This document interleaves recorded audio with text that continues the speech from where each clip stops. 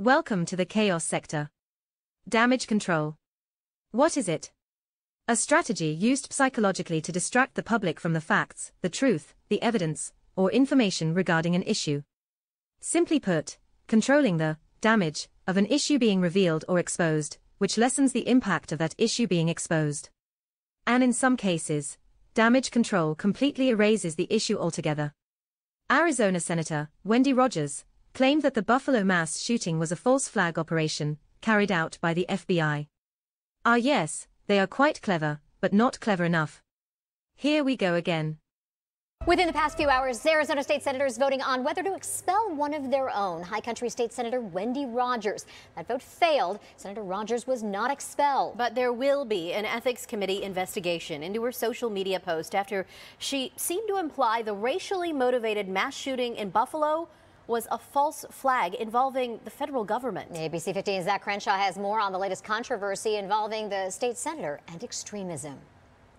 A shooter, a mass shooter. Just hours after 10 black Americans were killed and the shooter's racist manifesto published online, Arizona State Senator Wendy Rogers posted Fed Boy Summer has started in Buffalo, which I have no idea what the hell that means. Many state senators have said they're confused, but not extremism experts. She's saying Fed Boy Summer because she's saying the federal government was behind it. And this is something that we see frequently from extremist corners um, after these kinds of attacks. Now within this hoax's setting, Notice how they never give Rogers the benefit of the doubt. Perhaps there is evidence to suggest that it was a false flag operation, right? Before we continue, the narrative once again is based in politics. The Republican Party consists of so-called right-wing conspiracy theorists, and the Democratic Party doesn't have any interest in that way of thinking. They are, quote, practical, reasonable individuals.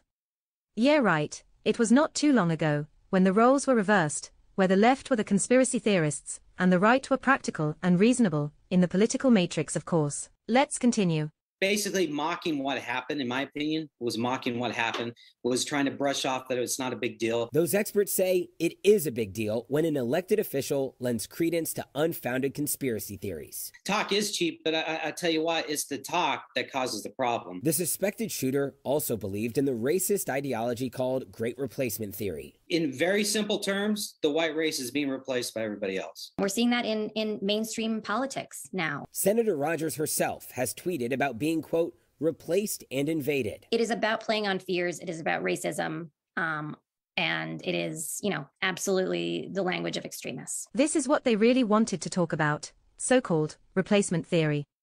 Just more garbage trending in the political matrix, rooted in race. Now remember the element of damage control. It was not only being executed by Rogers, but this new segment is also doing it as well.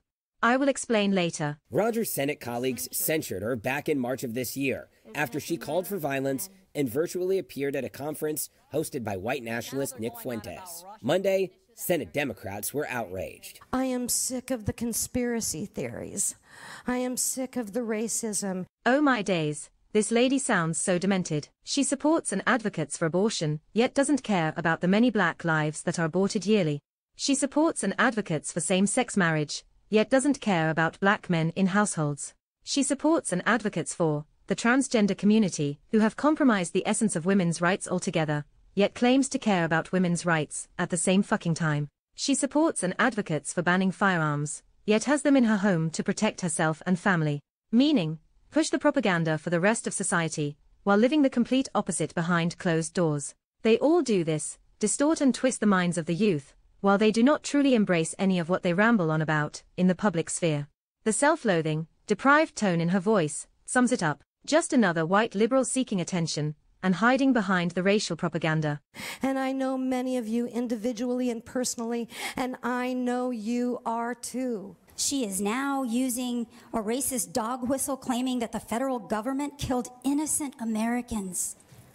10 people. Is that so hard to believe? This same person would claim that the federal government is rooted in systemic racism, killing innocent black Americans. And guess what?